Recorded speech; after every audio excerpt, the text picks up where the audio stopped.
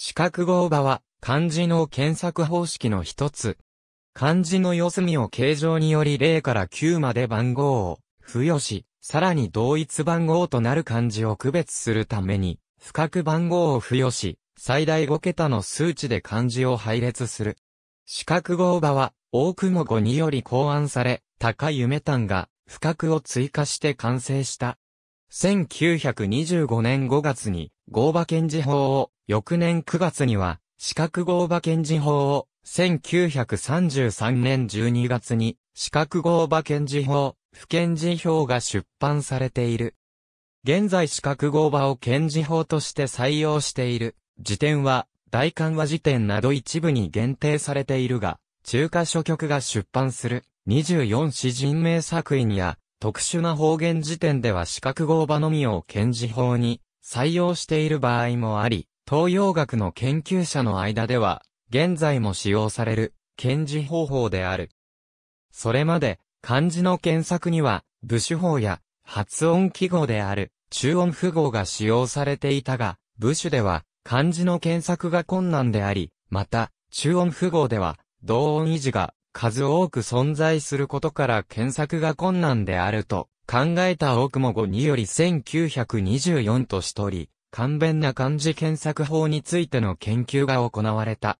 大雲語は中国文の電報を送信する際に使用する電波を参考に漢字を数値化する方式を模索した。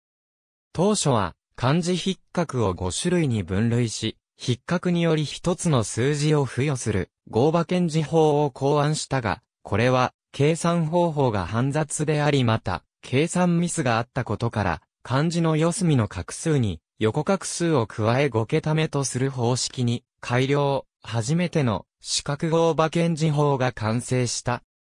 その後数度の改良が重ねられ、第二次改定四角合馬検事法を発表、0から9までの10種類を、四隅の形状により割り当て、符場を横画数とする方式とされた。その後も修正が加えられているが、四角合場の基本概念は変更されていない。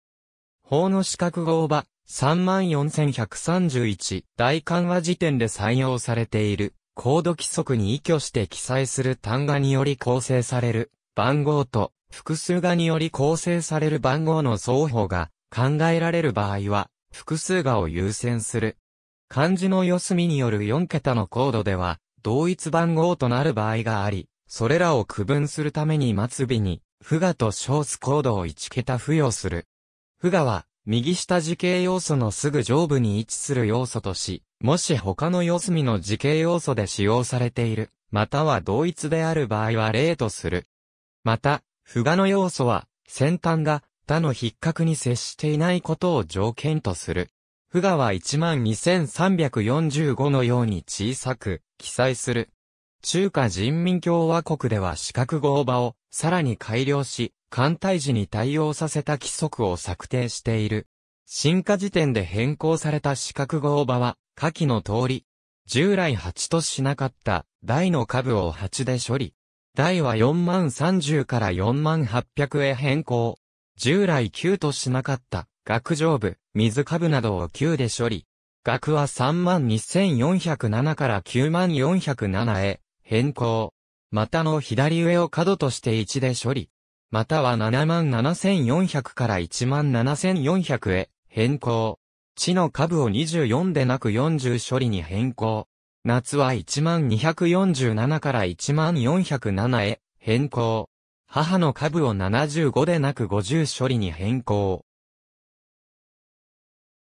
母は77,750から77,500へ変更。行構えの文字は、すべて21,221で統一。左の左下を1でなく、こうで処理。左は4万11から4万102へ変更。弓のような極端に文字要素が片方によっている場合、空白部を例で処理。弓は17207から17027へ変更。不覚の橋が他の筆角に接していないことを条件を廃止。ありがとうございます。